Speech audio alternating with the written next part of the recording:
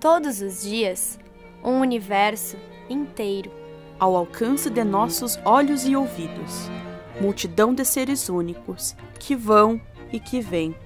Pluralidade de motivos, necessidades, desejos, crises, barreiras, dilemas em constante movimento. Com ritmos próprios, fazeres e saberes diversos.